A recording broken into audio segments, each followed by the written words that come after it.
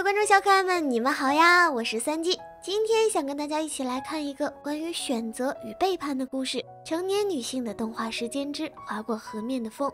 生于小城镇的乃里子，从很小开始就憧憬着繁华的都市、精致的生活，最好还能和多金的帅哥谈一场轰轰烈烈的恋爱。所以，为了这个梦想，乃里子一直以来都十分上进，并且以她优秀的姐姐为榜样。只是随着年龄的增长，姐姐却没有选择奶丽子所向往的那种生活，读书、就业、结婚，每一样都在老家。慢慢的，姐姐从她的小偶像变成了一个平凡至极的女人。为了避免重复姐姐的命运，奶丽子更加努力了。整个高中的寒暑假，她都在父亲工作的糕点店兼职。与初中同学久夫的再次相遇，也是在这里。可惜久夫因为没有父母的供养，无法继续上学，所以一毕业就来这里当了学徒。九夫性格冰冷，也没什么朋友，连店里爱打趣的阿姨都说他很难接近。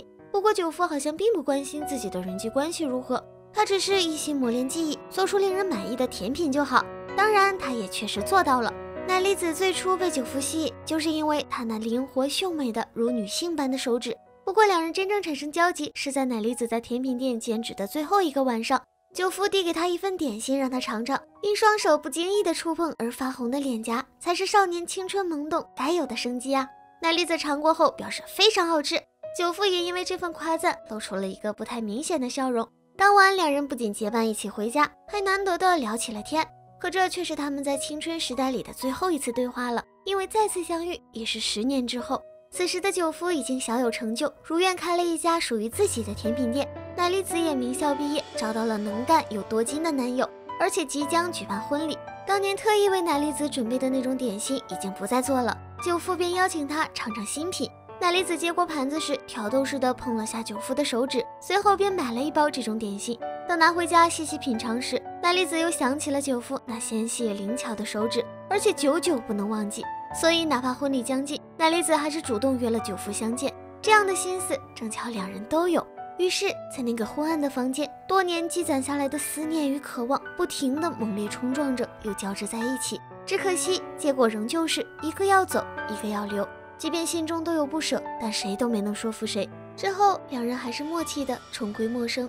奶丽子婚后不久便和丈夫移居美国了。随后，她便发现自己已经怀孕。她虽然感觉心有不安，但还是决定把这孩子生下来。婚后的生活并不如意，可爱的儿子也无法治愈她的痛苦。身处陌生环境的不安，永远缠着丈夫的工作和各色女人，让奈里子患上了暴食症，每天夜里都被吃了吐，吐了再吃的循环折磨着。可是明明她想要的已经全部得到了。就这样过了几年，奈里子带着四岁的儿子回了老家。此时的姐姐已经有了一双儿女。奈丽子这才惊觉，原来她曾经最不屑得到的，才是最能轻易触碰的幸福。之后，她带着儿子去了久夫的甜品店。此时的九夫也已经有了妻女，当初的喜欢还在，只是不得不藏于岁月了。奈丽子对九夫谎报了儿子的年龄，说了些相互问候、祝福的话，就匆匆告别了。回去的路上，奈丽子想着，要是那天夜里他答应九夫留下来，又是怎样的一种人生呢？此时的儿子正掰着手指算着自己的年龄，是九夫的儿子，也是从此与九夫再无关的人生。三金万万不能认同乃丽子的做法，在马上结婚时与九夫纠缠，生下九夫的儿子后又不愿放弃当时的生活，而选择对丈夫隐瞒，背叛了婚姻的誓言。可这个故事却能让我们思考选择的重要，就好像一个人生于土地，执着于蔚蓝，一路拨开阴霾，发现大海虽是壮美，但无法立足。而后便开始思念踩在泥土上的踏实。没有经历过的人生，本就会让人心生遗憾、不满和失落，大多源于此。放纵和背叛只是害人害己罢了，它并不能排解痛苦，弥补已经被选择的人生。所以三金觉得，无论选择过哪种人生，都不必觉得遗憾，只要走自己认为正确的路。毕竟人生嘛，本就不可能完美。好啦，今天的分享就到这里。喜欢三金的话，不如点个关注再走吧，爱你们哟。